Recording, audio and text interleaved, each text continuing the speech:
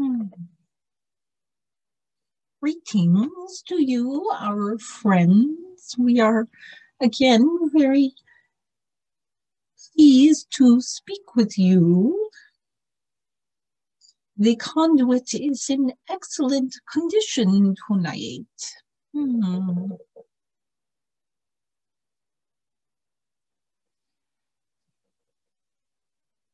Indeed,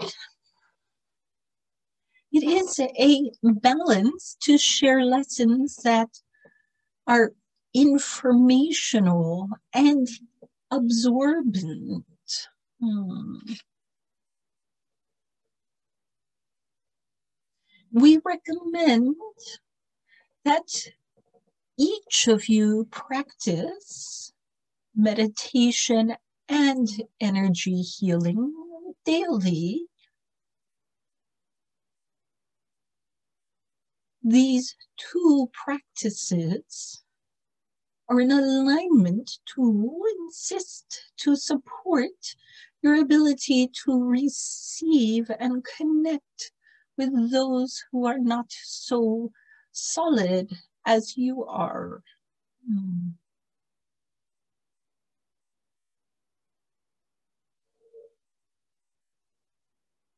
It would obviously be easier for us to communicate with you if we could communicate as we do with each other. These words through mouths are hmm, clunky. Hmm. Hmm.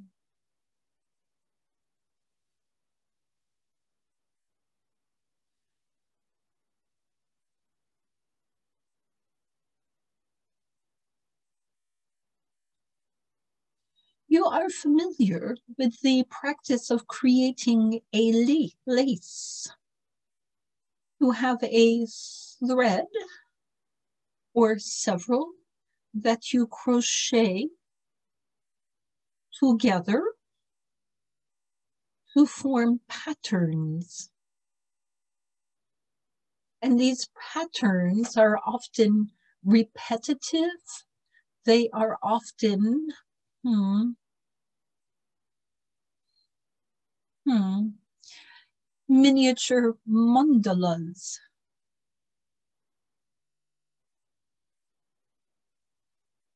If you think of this, a sheet of lace is many small elements, small mandalas connected together through the ever running thread.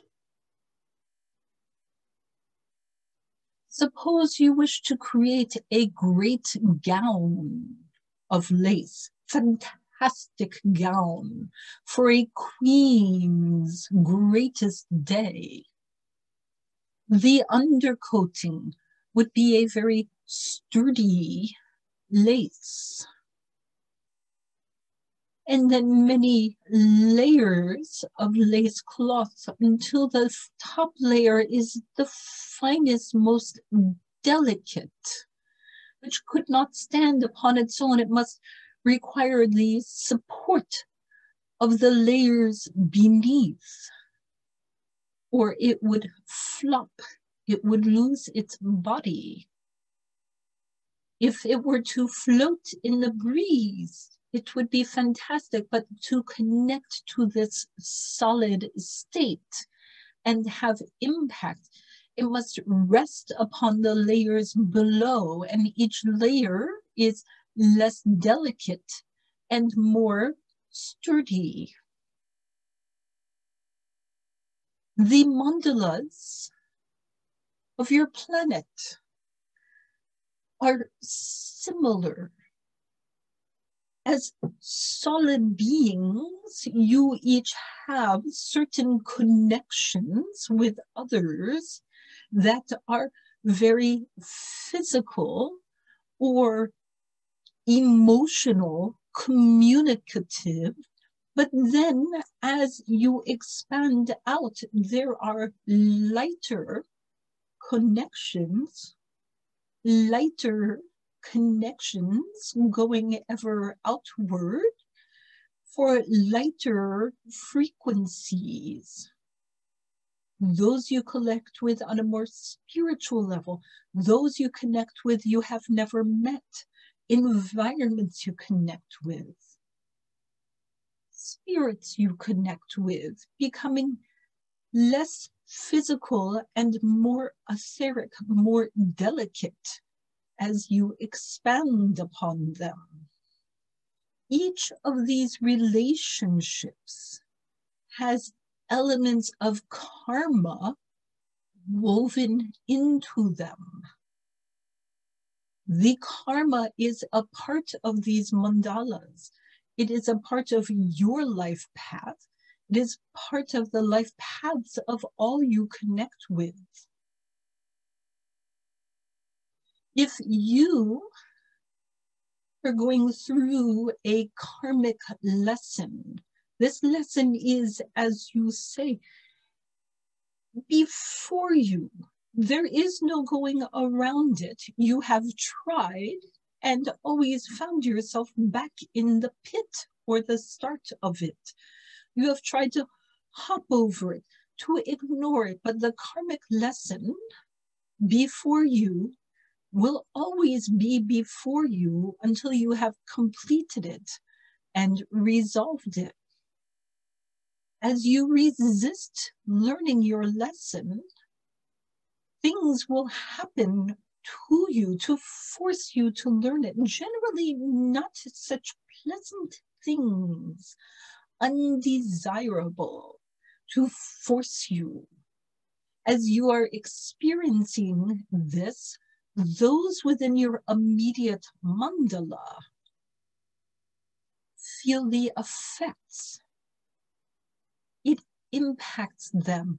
The energy that connects you is impacted, thus affecting their extended energy, or they must release from you.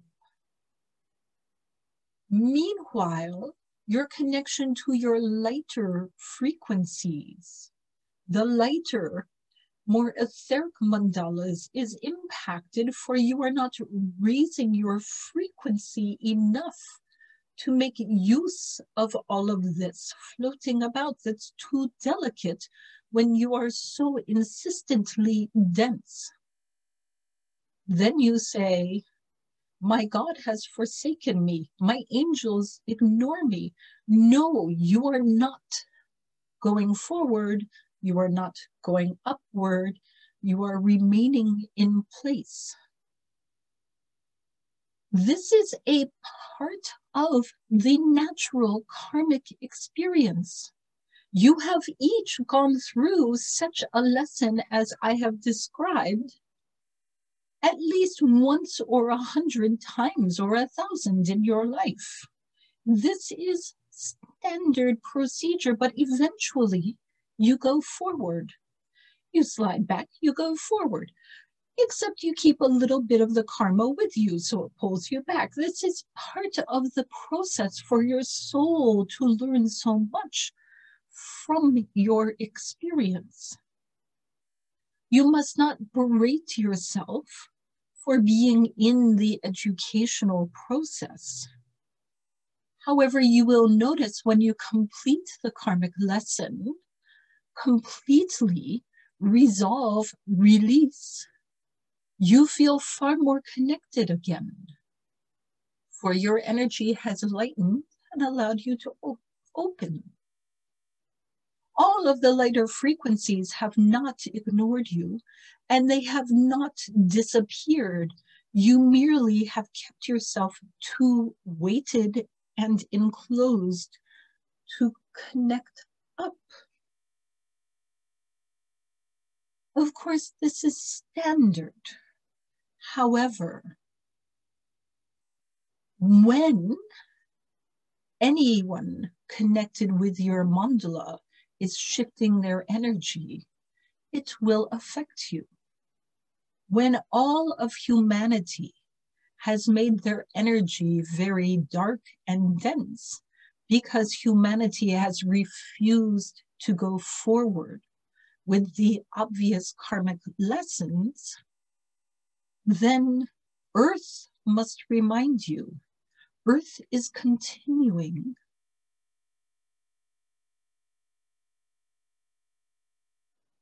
The quandary is, what will humanity do in this moment?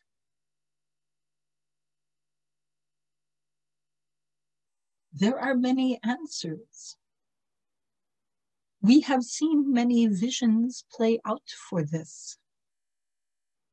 Of course, the easiest thing is to learn the karmic lessons and go forward. The most difficult thing is to refuse to learn your lessons and then become fairly obsolete.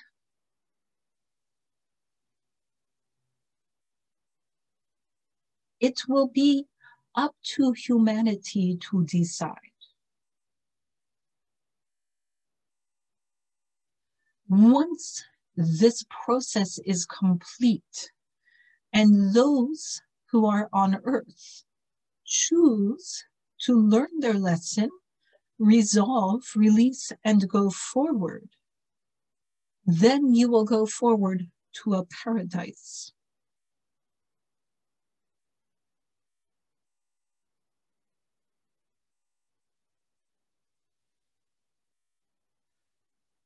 Does this explain with greater coherency our discussion in our previous session? Yes. It is not your responsibility to heal all of humanity. However, the quicker humanity spreads healing energy, the quicker you will be on the path for humanity to move forward.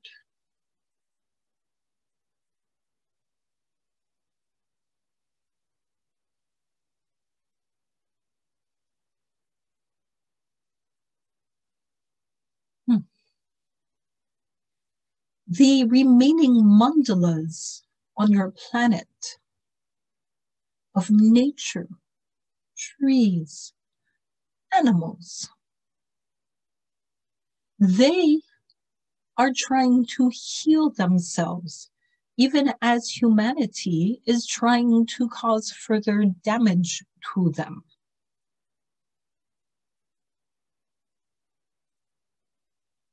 The sooner humanity stops harming the animals and plants and environments, the sooner everyone will evolve.